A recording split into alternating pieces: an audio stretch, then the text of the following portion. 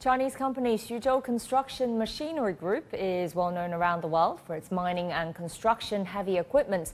Now the company is making a name for itself in Australia because of a creative strategy and rising demand. Greg Navarro explains. What looks like a country fair on the outskirts of Sydney with plenty of places for kids to play is actually a showcase for the kind of heavy equipment that impacts our daily lives. Every time we, we buy a house, or every, uh, you know, it's, it's some form of equipment has been involved in building that or clearing the ground and preparing it. Uh, in the mining, all the dams for people in the country, they're dug out by machinery. The mining sector, they move massive amount of dirt. So all this equipment at some stage, doesn't matter what, you, what building you see, has been on a site. So it, it's an essential bit of equipment. The Dirt, Diesel and Turf Expo is Australia's largest construction industry expo.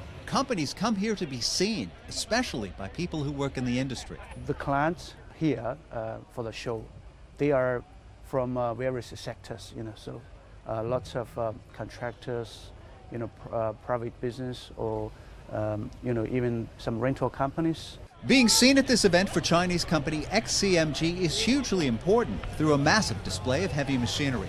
It's been a big part of the company's strategy since it established an Australian division three years ago. Historically, the Chinese um, products in Australia have been not accepted, very poorly accepted, but I'm very conscious of the fact that we had to get out there and sell our business. XCMG started in China in 1943, eventually becoming the country's number one manufacturer of mining and construction machinery and number three in the world.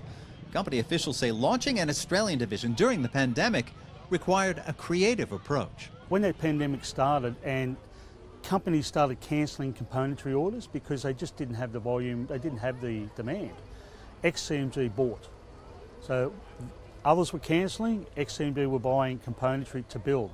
So they had the stock to build. They had plenty of componentry. Still to today, our lead time is very, very short. So we've got the componentry. So we sort of jumped ahead of the field because we'd already taken all their stock. And while Australia has an established construction industry, it's also home to one of the world's largest mining industries, including iron ore and coal. Taking part in an event like this is always financially risky. The costs alone with getting the equipment here are substantial, and then there's the weather. But this year appears to be paying off. The company says it's sold about 90% of all the display vehicles you see here in just three days. Uh, look, for the last 10 to 15 years, these shows, you, you really don't sell off the stand. It's a rare thing, you might sell a machine or two machines. But to sell what we've sold in the third day, uh, is I'm amazed by it. Company officials said they plan to increase their focus here on the mining sector, where the industry's growth is increasing the need for newer and greener technology and equipment. Greg Navarro, CGTN, Sydney.